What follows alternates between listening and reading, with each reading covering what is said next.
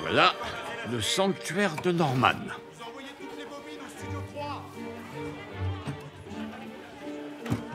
Euh, J'ai une question.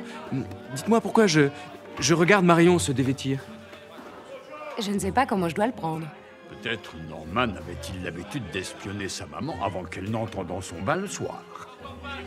Oui, peut-être par une fenêtre au-dessus de la porte de la salle de bain. Oui, et qu'il atteignait en montant sur une chaise.